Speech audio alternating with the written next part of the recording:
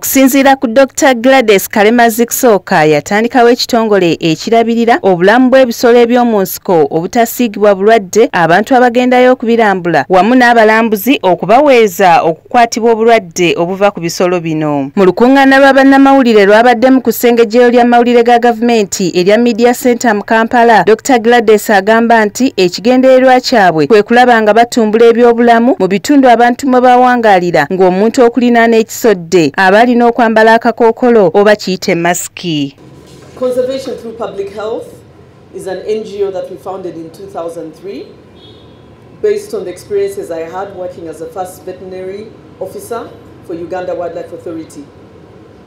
The gorillas developed a fatal skin disease called scabies. The baby gorilla died and the others only recovered with treatment of ivermectin.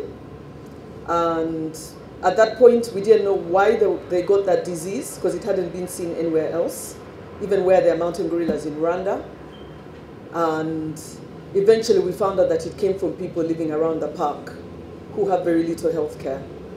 There was another scabies outbreak a few years later. Again, those gorillas recovered with ivermectin, but we didn't want them to keep picking up human diseases.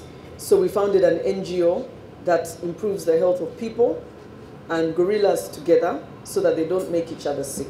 bano bagamba nti kino kijja kusobozesa ebisodde bino okutandika okuwangaalira mu bantu nga n'ebyokulya kumpi bakozesa bye bimu But of course, the gorillas don't live alone. There's other wildlife, and we also scaled up the conservation through public health in other protected areas like Queen Elizabeth National Park, which is not far from Windy.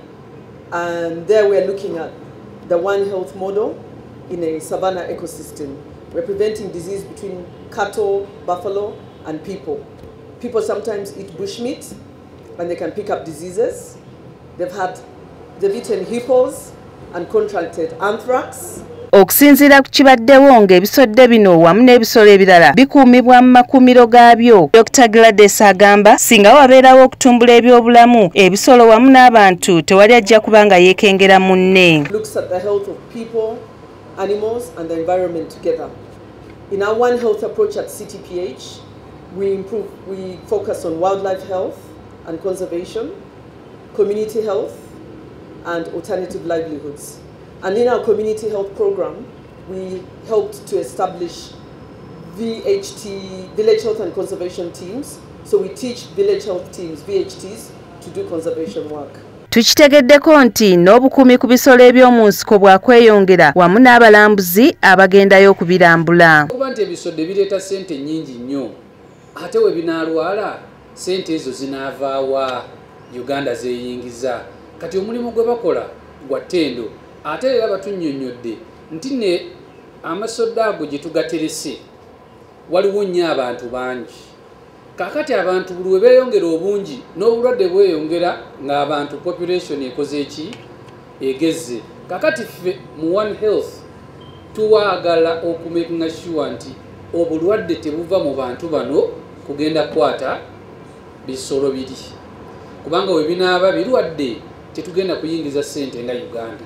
Tuyinza kukyusaamu kulaba nti ensolo zino tuzirinda bulungi ate nezituyamba okuleeta abalambuze nazo zibeerewo. Omumbejja grace nasolo delta tv amasukkulumu